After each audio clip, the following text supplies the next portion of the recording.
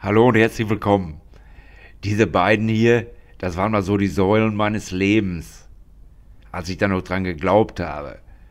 Und zwar zum einen ist das eine ganz bekannte Skulptur, der Denker von Pierre Rodin und den anderen Spruch, den kennt sicherlich jeder von René Descartes, ich denke, also bin ich.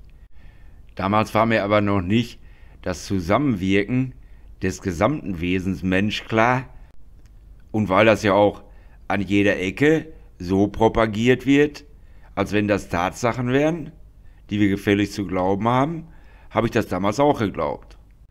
Obwohl es völlig unlogisch ist, wenn ich mir das wirklich genau ansehe und auch völlig widernatürlich.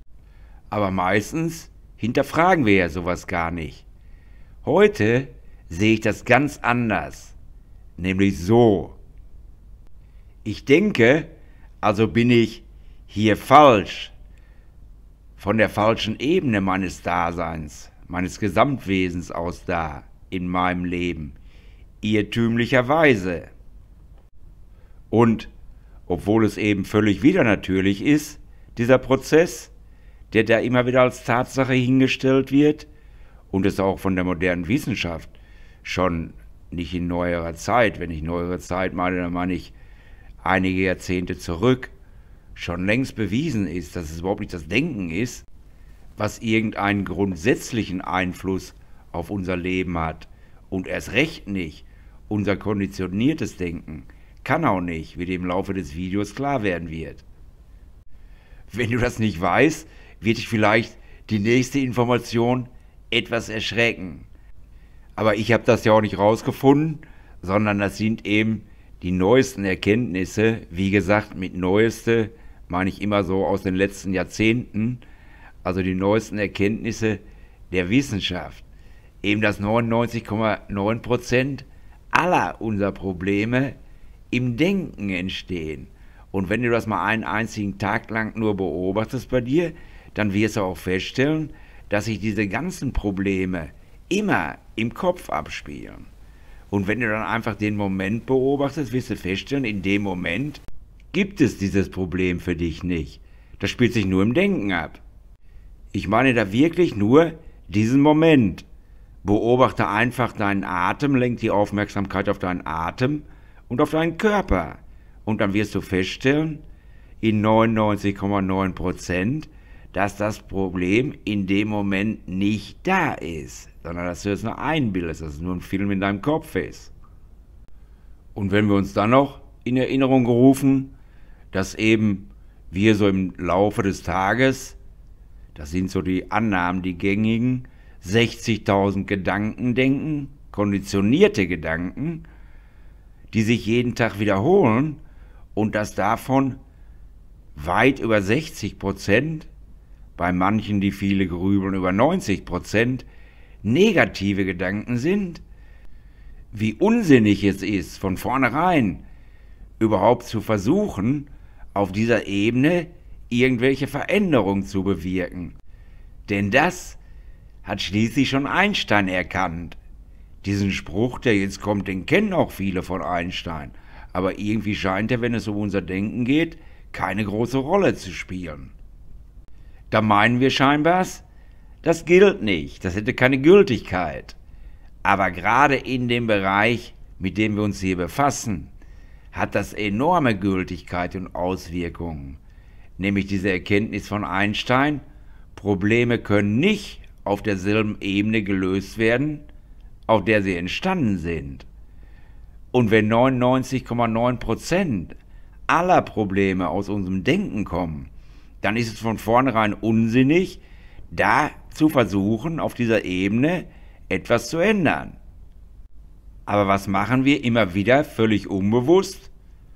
Probleme entstehen auf der Ebene des Denkens und wir versuchen auf der gleichen Ebene auch Lösungen zu bekommen. Und das geht nicht, das kann nicht gehen. Und weil wir uns zu 100 Prozent mit unserem konditionierten Denken identifiziert haben, meinen wir, es gäbe da keine anderen Möglichkeiten weil uns nicht klar ist, was unser konditioniertes Denken überhaupt ist und wie das entstanden ist. Und wir eben glauben, wir wären unser konditioniertes Denken. Es gäbe da nichts anderes. Das stimmt aber nicht. Unser konditioniertes Denken ist nur ein winziger Bruchteil von uns. Sehen wir uns kurz an, wie unser konditioniertes Denken entsteht. Im Grunde genommen ist unser konditioniertes Denken nichts anderes wie eine völlig willkürliche Ansammlung von Ordnern auf einem USB-Stick. Wenn wir geboren werden, dann wird der USB-Stick angefangen zu füttern von den Eltern, vom Umfeld. Da gibt es also Input, wo wir lernen, das dürfen wir, das dürfen wir nicht, so müssen wir sein, das ist verboten. Also diese ganzen Regeln und diese ganzen Verordnungen, die wir für unser Leben mitbekommen haben, sind auf diesem USB-Stick gespeichert. Quasi eine Sammlung von Ordnern und kleinen Programmen, die wir jedes Mal, wenn wir irgendwo getriggert werden, immer wieder abrufen, immer wieder die gleichen, weil da eben gespeichert ist, wie wir sein sollten, nicht wie wir sind. Das ist nicht unser wahres Wesen. Unser wahres Wesen, das ist das Wesen, was in der Kindheit vor der Programmierung dieses USB-Sticks da war, sich aber nicht frei entfalten durfte, weil es an jeder Ecke ge gespürt hat, oh, so wie ich bin, darf ich nicht sein, das ist nicht willkommen, dann werde ich nicht angenommen, und dann fängt das Kind an, das eigene Wesen zu unterdrücken, zurückzustellen und eben nach diesem künstlichen USB-Stick zu leben, nach den Programmen, die darauf sind. Wir können auch sagen, der natürliche erste Kreis der Blume des Lebens wird einfach ausgeklammert und es wird ein künstlicher Kreis der Blume des Lebens mit allen Ordnungen und Bestimmungen, die auf dem USB-Stick gespeichert sind, angefangen zu leben und wir vergessen im Laufe der Zeit, dass das gar nicht unser natürlicher Kreis ist, dass das gar nicht unser wahres Wesen ist. Weil wir aber später so mit dem USB-Stick identifiziert sind, merken wir das in der Regel gar nicht. Machen wir einfach weiter in dieser Analogie, weil das heutzutage eben jeder kennt. Sagen wir, und dann gibt es dann noch einen Faktor, und das ist das Laptop mit dem Desktop, mit dem Monitor. Der USB-Stick wird also in das Laptop gesteckt und je nachdem, was auf dem USB-Stick abgespeichert ist, erscheint ein Bild, das subjektive Weltbild des USB-Sticks. Und da kann logischerweise nur immer das erscheinen, was auf dem USB-Stick auch an Informationen und kleinen Programmen abgespeichert ist, nichts anderes. Und da wir ja quasi ein Leben, ein konditioniertes Leben von innerhalb des USB-Sticks leben und auch bis hierhin nichts anderes kennen, sind wir natürlich davon überzeugt und glauben daran, dass das genau das richtige Weltbild ist, weil wir kennen ja nichts anderes von innerhalb des USB-Sticks aus. So entstehen Weltsichten und Weltanschauungen und im Grunde genommen streiten sich dann Menschen von innerhalb ihres USB-Sticks, welches Bild denn jetzt auf dem Monitor wo das bessere wäre. Dabei sind beides nichts anderes wie programmierte USB-Sticks, die auch nichts anderes auf dem Monitor erkennen können, als eben das, was irgendwann mal auf diesem USB-Stick abgespeichert wurde. Und wie das heute immer mehr glücklicherweise geschieht, merken immer mehr Menschen, irgendwas stimmt nicht. Allerdings geschieht dann dieses erste Erwachen, sag ich mal, innerhalb des USB-Sticks.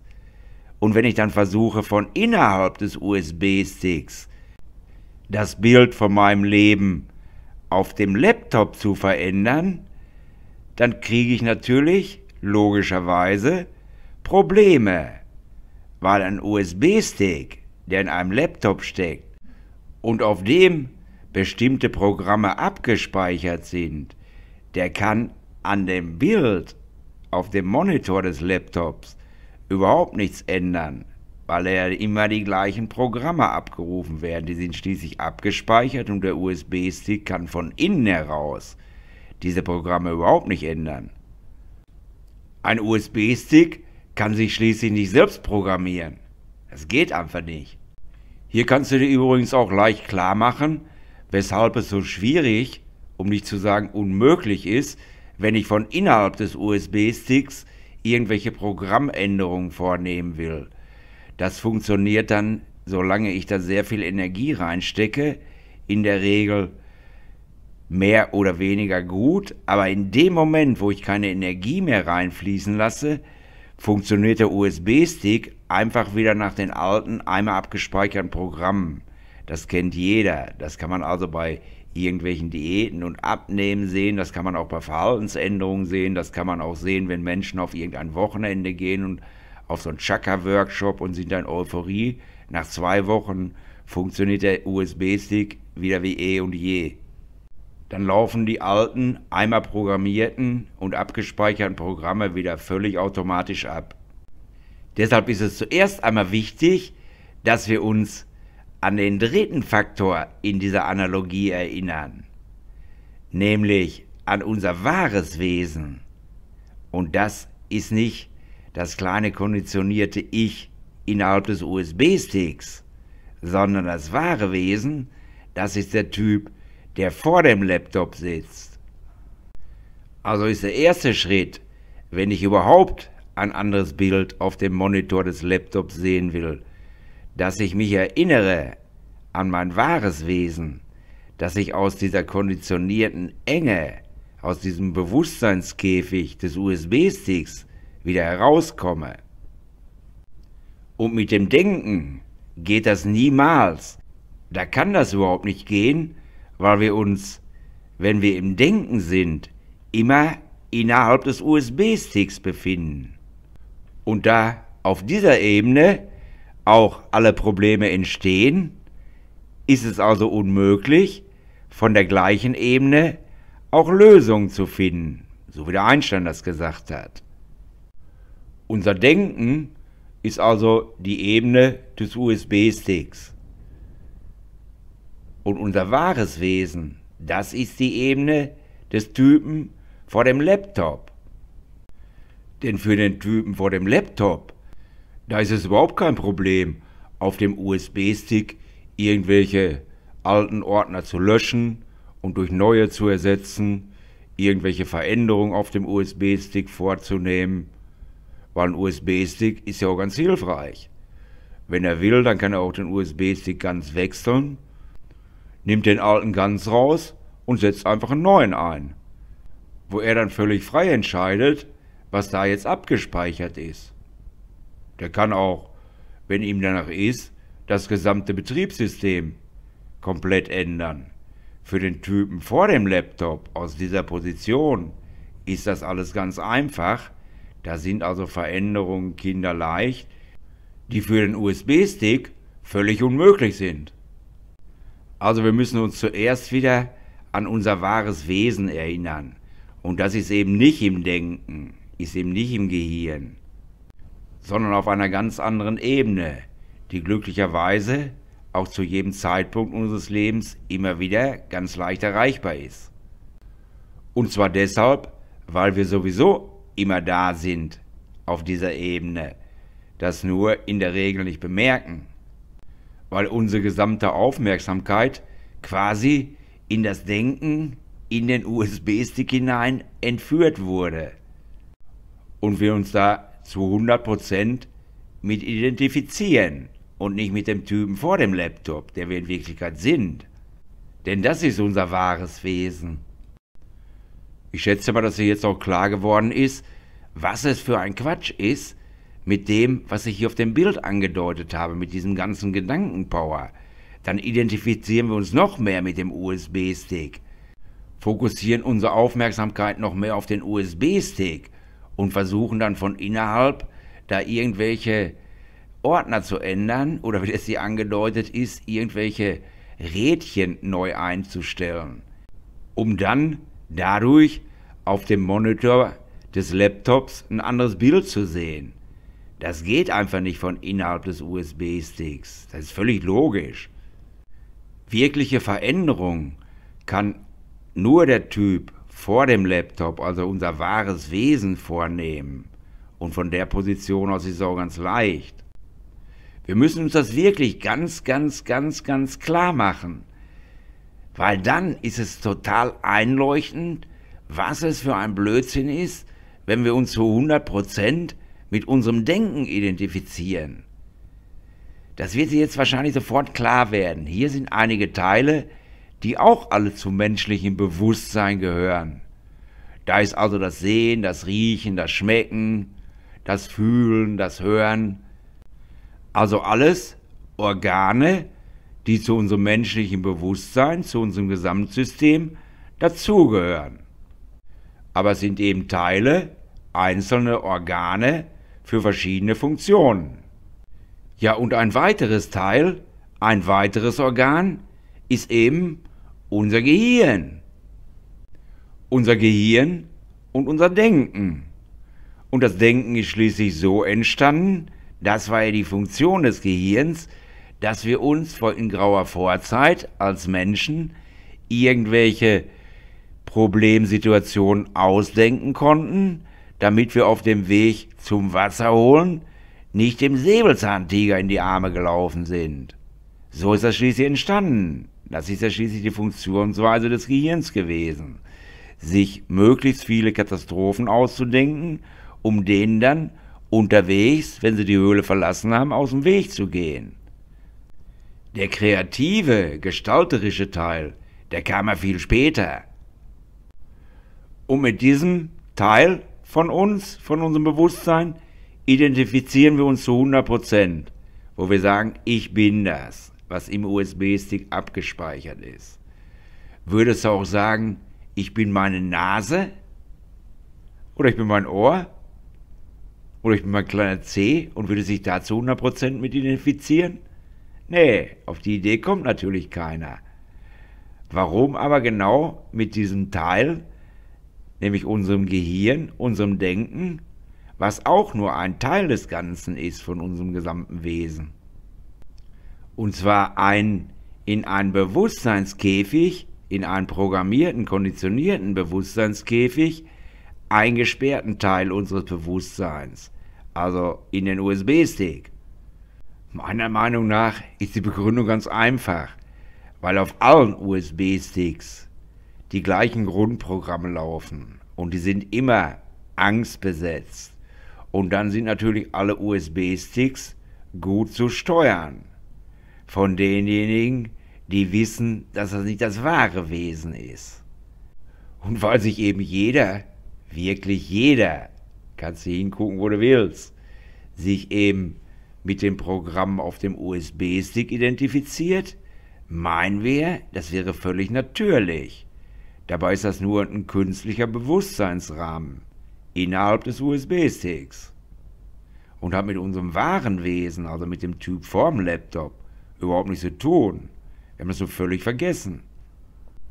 Wenn du das einmal weißt, dir das wirklich klar geworden ist, ganz zu schweigen, wenn du das erste Mal die Position wieder vorm Laptop erfahren hast, da kannst du dich nicht reindenken, du musst es erfahren.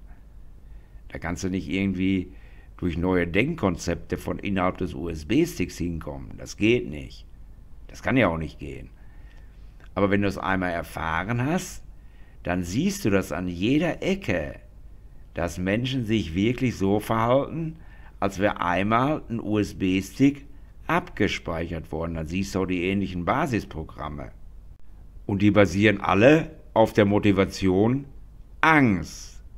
Und es werden einfach immer wieder diese gleichen Basisprogramme angesteuert. Egal, ob es im Verkauf ist oder ob es bei irgendwelchen Wahlen sind oder wenn es darum geht, Menschen zu beeinflussen.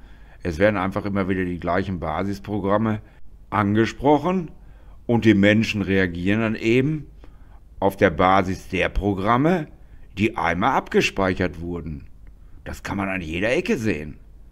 Das ist im Verkauf so, das ist bei irgendwelchen Parteien so, das ist, wenn es um irgendwelche Meinungsbildung geht, das ist immer das Gleiche.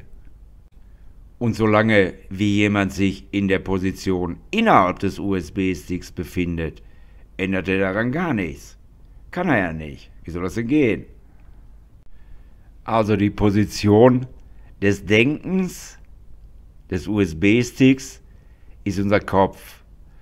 Was ist dann die Position unseres wahren Wesens? Wo wohnt das denn? Des Typen vor dem Desktop, der völlig frei entscheiden kann, in unserer Analogie. Nun, der Sitz unseres wahren Wesens ist nicht der Kopf, sondern ist unser Herz, unser spirituelles Herz. Unser wahres Wesen, das ist die Ebene unseres spirituellen Herzens, nicht unser Denken. Das sind zwei völlig unterschiedliche Ebenen. Also die Ebene, von wo aus sich unser gesamtes Leben entfaltet, das ist die spirituelle Ebene unseres Herzens und nicht die Ebene unseres Denkens. An diesem kleinen Beispiel hier, an dieser Analogie zur Natur, da kannst du dir sofort klar machen, wie unsinnig das ist, mit dem Kopf überhaupt irgendetwas zu verändern. In der Natur ist es ja auch so wie bei dem Baum hier, dass eben die Entfaltung, das Wachstum aus den Wurzeln kommt, letztendlich aus dem Samen des Baumes, in dem schon die gesamte Matrix des endgültigen Baumes enthalten ist. Sehen wir es aber vereinfacht, in dem Beispiel hier ist also der Stamm und die Wurzeln dem spirituellen Herzen entsprechend.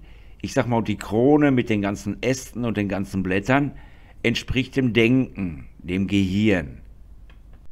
Nimm einfach mal für einen Moment an, ein Baum wäre genauso bewusst wie wir. Obwohl ich schon glaube, dass Bäume lebende Wesen sind. Aber nehmen wir einfach mal an, das wäre genauso wie bei uns. Und ein Baum würde dann laufend in seinem Gehirn, also in der Krone sein, mit seiner gesamten Aufmerksamkeit, sich darüber identifizieren und vor allen Dingen würde er versuchen, dann jedes einzelne Blatt, jeden kleinen Zweig immer unter Kontrolle zu haben, wie der wächst, warum der so wächst, wie der sein muss. Das ging überhaupt nicht. Deshalb kommt natürlich ein Baum nicht auf so eine blödsinnige Idee. Weil er eben weiß, dass alles schon in dem Samen angelegt war. Aber genau das ist die Situation, die wir laufen probieren, wenn wir in unserem Denken sind. Wenn jedes einzelne Blatt, jeder kleine Zweig, jede kleine Veränderung in der Krone einem Gedanken entsprechen würde, dann würden wir versuchen als Baum über jedes einzelne Blatt genau Bescheid zu wissen und genau zu wissen, wie das wachsen muss und würden uns vor das Blatt setzen, oh, ist das falsch, ist das richtig, ist das gut, ist das schlecht oder wie sollte das sein? So ein Baum, der würde niemals wachsen. Und weil wir uns ja noch schärfer verhalten, wenn wir dann auf einmal in der Krone ein einziges Blatt entdecken würden, was von mir aus schlecht ist, dann wäre für uns sofort der ganze Baum schlecht. Wir würden sofort den ganzen Baum in Frage stellen. Auf so einen blödsinnigen Prozess kommt natürlich in der Natur weder ein Baum, noch ein Johannisbeerstrauch, ein Stachelbeerstrauch, aber auch keine Blume, keine Pflanze. Weil in der Natur eben jeder Baum weiß, in Anführungsstrichen, dass alles schon in seinem Samen als Matrix enthalten ist, dass er sich um dieses Wachstum nicht zu kümmern braucht um jedes einzelne Blatt und jeden einzelnen Zweig in der Krone, sondern sich nur auf seine Wurzeln und auf seinen Stamm fokussieren muss mit seiner Aufmerksamkeit und seiner Lebensenergie. Weil der Saft, der fließt dann schon von alleine in die Blätter und in die Zweige. Woher kommt das also? Weil wir ja schließlich Teil der Natur sind, dass das bei uns anders ist. Das hat einen ganz klaren Grund, der wird dir sofort einleuchten, woher das kommt. Dann wird dir vieles klar werden, auch spirituelle Gesetze, dass sie ganz praktisch sind, die universellen Gesetze. Du kennst ja das universelle Gesetz wie innen so außen. Oder von mir aus auch diesen Prozess, dass alles vom Unsichtbaren in das Sichtbare erwächst. So wie beim Baum eben alles aus der unsichtbaren Matrix im Samen zu einer riesigen Eiche erwachsen kann. Und solange wie sich da niemand einmischt, funktionieren diese Prozesse auch nach dem schöpferischen Plan. Dann geschieht die Entfaltung von ganz alleine, wie bei einem Baum. Eben entsprechend der geistigen Matrix, die schon im Samen der Eiche enthalten ist. Wächst sie dann eben immer mehr und entfaltet sich immer mehr vom Unsichtbaren ins Sichtbare. Das kennt jeder. Das kannst du ja überall in der Natur sehen. Oder hast du schon mal irgendeine Eiche gesehen, die irgendeinen Workshop besucht hat oder irgendein Buch gelesen hat, um zu erfahren, was sie denn tun muss, um Eiche zu sein. Natürlich nicht. Dieser schöpferische Plan, also wie es mal geplant war, von der Schöpfung, von der Natur aus, der ist auch in uns Menschen angelegt. Schon bei der Zeugung ist also diese geistige Matrix für den Menschen, für den einzelnen Menschen, wie beim Samen eines Baumes, komplett enthalten. Da ist alles enthalten für die Entfaltung, für den gesamten Menschen, für das gesamte Leben. So wie bei einer Eiche oder jedem anderen Baum, jeder anderen Pflanze. Ich habe hier stark vereinfacht, einfach mal so den Zeitstrahl aufgezeichnet. Also wer anfängt mit unserer Zeugung und dann eben später in unserem Leben endet und sich fortsetzt. Sag mal, dieser Punkt, wo wirklich bei der Befruchtung der weiblichen Eizelle Leben entsteht, den haben Wissenschaftler heute, bis heute, bis heute noch nicht genau lokalisieren können, weil er so klein ist, so winzig, dieser Moment, wo Leben entsteht und dennoch alles darin enthalten ist. Der ist so kurz, den können sie mit den heutigen Geräten nicht messen. Werden sie wahrscheinlich auch nicht.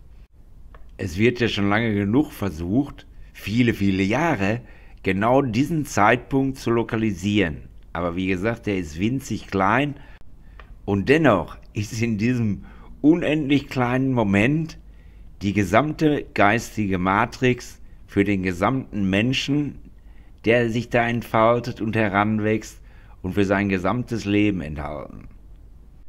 Natürlich ist das alles hier total vereinfacht dargestellt.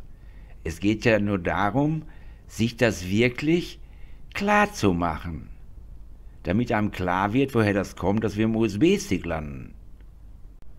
Das obere, das grüne, ist also der Prozess, wie es eigentlich von der Schöpfung geplant ist. Dass also schon bei der Zeugung in dieser geistigen Matrix alles enthalten ist. Und dann wächst der kleine Hosenmatz innerhalb des Mutterleibes heran und dann entspricht die geistige Matrix den Qualitäten der Fruchtblase. Also ich gehe mal davon aus, es ist eine ganz harmonische und natürliche Zeugung und auch eine ganz harmonische, natürliche Schwangerschaft.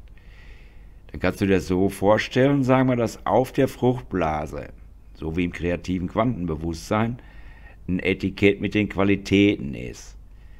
Für den kleinen Hosenmatz innerhalb der Fruchtblase gilt, wo eben drauf steht, ich bin in Sicherheit, ich bin willkommen und ich bin geliebt, ich bin geborgen, ich bin verbunden, da stimmt das ja noch über die Nabelschnur, ich bin genährt und zwar in jedem Moment, nur wenn die Absicht dahin geht. Ich darf mich entfalten, ich bin unterstützt, nämlich durch den gesamten Organismus der Mutter. Ich darf wachsen, das Wachstum wird gefördert und ist gewollt.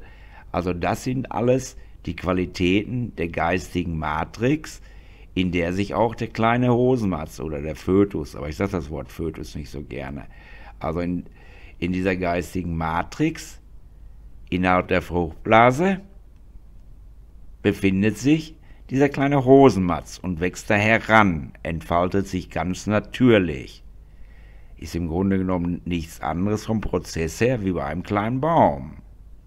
Und bei unserem kleinen Hosenmatz im Mutterleib ist das Erste, was wahrnehmbar ist, das Herz. Obwohl das organische Herz noch gar nicht ausgebildet ist, können Sie mysteriöserweise den Herzschlag hören. Woher das kommt, wissen wir heute auch noch nicht.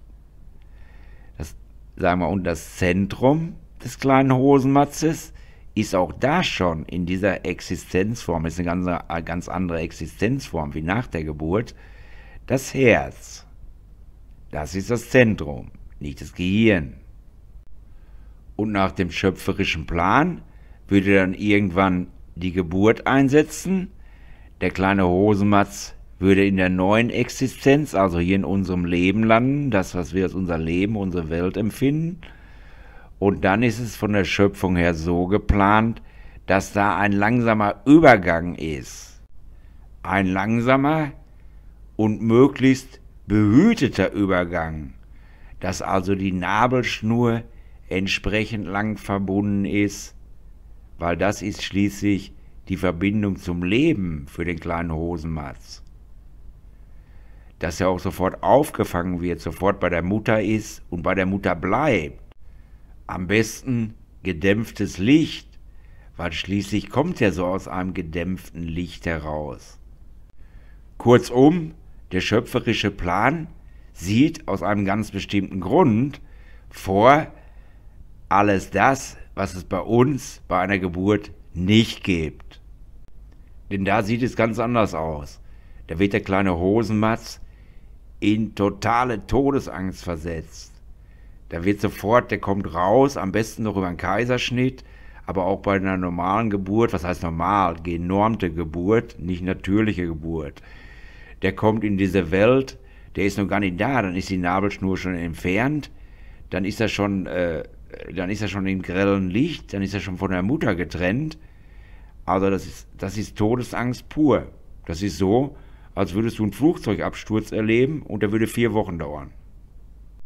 Der schöpferische Plan sieht eben wie oberhalb der Zeitlinie aus, dass sich eben auch da durch diesen sanften Übergang und durch das Angenommen und Aufgefangensein sich eine mentale Matrix um den kleinen Hosenmatz bilden kann, die genau der Matrix entspricht, die er in der Fruchtblase erfahren hat. Also wo quasi, um das mit den Worten vom kreativen Quantenbewusstsein zu sagen, das gleiche Etikett draufklebt.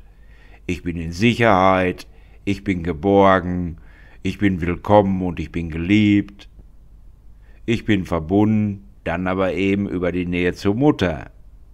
Die Nähe zur Mutter und die liebevolle, schützende Annahme des Umfeldes und sich dann als kleine Kind aus dieser sich ständig verstärkenden geistigen Matrix heraus entfalten und wachsen kann. Also so wie Mutterleib auch. Denn so funktioniert ja die Natur, durch Selbstähnlichkeit. Eine kleine Eiche ist von der geistigen Matrix her nichts anderes wie viele Jahre später der riesige, von mir aus 300 Jahre alte Baum. So ist dieser schöpferische Plan eben auch für uns Menschen geplant. Dieser harmonische, schöpferische Plan wird aber durch den Vorgang der Geburt brachial durchkreuzt. Und es bildet sich für jedes kleine Kind eine ganz andere geistige Matrix als Basis für das gesamte Leben, als die, die eigentlich von der Schöpfung geplant ist. Da klebt also ein ganz anderes Etikett drauf, nämlich mein Leben ist pausenlos in Gefahr, ich bin permanent bedroht. Und das gilt dann als Same für das gesamte Leben und nicht die Bewusstseinsmatrix, die geistige Matrix, die eigentlich von der Schöpfung geplant ist. Dann versucht das kleine Kind noch in den ersten Jahren, sich dennoch frei zu entfalten also nach seinem natürlichen Lebenskreis, weil du kannst natürlich auch sagen, dass der obere grüne Kreis ist der natürliche Kreis, der erste Kreis der Blume des Lebens, wo sich das gesamte Leben dieses Menschen heraus entfaltet. Ein kleines Kind versucht das dann auch noch, und da werden natürlich so tolle wissenschaftliche Begriffe, so als wenn es wieder natürlich wäre, für geprägt, kennt jeder, weil so die Phase, wo ein kleines Kind das zum letzten Mal probiert, bevor es ganz aufgibt. Das ist die sogenannte Trotzphase, wo es nochmal versucht, sich wirklich zu entfalten und dann aufgibt und dann anfängt, den künstlichen Lebenskreis zu leben. Und das wahre Wesen total vergessen wird. Und der künstliche Lebenskreis, das sind die Programme innerhalb des USB-Sticks. mit dem wir uns dann später zu 100% identifizieren und unser wahres Wesen total vergessen haben, weil es ja in der ganz frühen Kindheit gefährlich war für das kleine Kind. Das muss ja schließlich geliebt und angenommen werden. Das ist ja genauso existenziell wichtig wie Essen und Schlafen. Und deshalb wird dieses wahre Wesen immer mehr in den Hintergrund gedrückt, so als gäbe es das gar nicht und es gäbe nur diesen künstlich konditionierten Lebenskreis, sprich den Inhalt des USB-Sticks, mit dem es sich dann immer mehr und immer mehr identifiziert. An diesem Prozess liegt es übrigens auch, dass wir uns dann später so schwer tun, wirklich authentisch zu sein nach unserem wahren Wesen. Denn unser wahres Selbst, wenn sich das in der Kindheit gezeigt hat und entfalten wollte, das wurde immer mit Ablehnung bestraft. So wie du bist, sollst du nicht sein. Du sollst gefällig so sein. Daher kommt das, dass es uns nachher so schwer fällt, unser wahres Gesicht zu zeigen. Das merken wir auch in der Sprache. Wenn wir auf die Sprache achten, dann können wir das an vielen Stellen sehen. Wirklich authentisch zu sein, bereitet vielen Menschen dann erstmal Angst. Angst vor Ablehnung. Ich kann nicht einfach so sein, dann wäre ich abgelehnt. Das kennen ganz viele, die auf einmal angefangen sind, wirklich wieder ihr wahres Selbst zu leben. Aber unser wahres Selbst ist natürlich niemals ganz weg gewesen, sondern hat sich immer wieder gemeldet, so als leises Stimmchen. Du brauchst dich nur zu erinnern, dass du nicht der programmierte, konditionierte USB-Stick bist, sondern der Typ vor dem Laptop. Aber wie gesagt, da kommst du nicht über das Denken hin.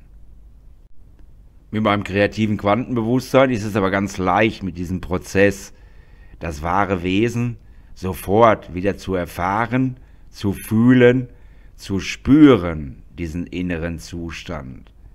Das geht ganz leicht. Das kann ja nicht weg sein, was soll es auch geblieben sein. Ich muss das einfach nur wieder einmal erfahren, mich dann immer wieder daran erinnern, damit sich meine wahre innere Position für mein Leben auch immer mehr wieder stabilisieren kann in meinem Leben, in meinem Alltag. Ich dann immer mehr und immer öfter auch wirklich wieder von da aus da bin, weil das mein Dasein ist ich so wie bei diesem schönen Baum auch wirklich wieder mit meiner Aufmerksamkeit bei den Wurzeln und beim Stamm bin und ich pausenlos da oben in der Krone rumturne und meine, ich muss mich um jedes einzelne Blatt, um jeden einzelnen Zweig kümmern. Das ist ein völlig sinnloses Unterfangen und kostet enorm viel Lebensenergie. Vielleicht ist jetzt klar geworden, warum unser Gehirn ungefähr, ungefähr 70 Prozent unserer gesamten Lebensenergie verbraucht. Jeden Tag. Und wenn wir grübeln und uns Sorgen machen, noch viel, viel mehr. Deshalb verhält sich ein Baum wahrscheinlich nicht so, weil der weiß in Anführungsstrichen, ich brauche meine Aufmerksamkeit und meine Lebensenergie nur auf die Wurzeln und auf den Stamm fokussieren und von da aus entfalte und wachse ich dann von ganz alleine. Entsprechend der geistigen Matrix in meinem Samen. Ein Kirschbaum wird eben ein toller Kirschbaum. Ein Same einer Eiche entfaltet sich zu einer riesigen Eiche und der Same von einem Kastanienbaum entfaltet sich eben zu einem riesigen Kastanienbaum. Immer entsprechend der geistigen im Samen angelegten Matrix. Um die einzelnen Blätter in der Krone, da brauchen die sich nicht zu kümmern.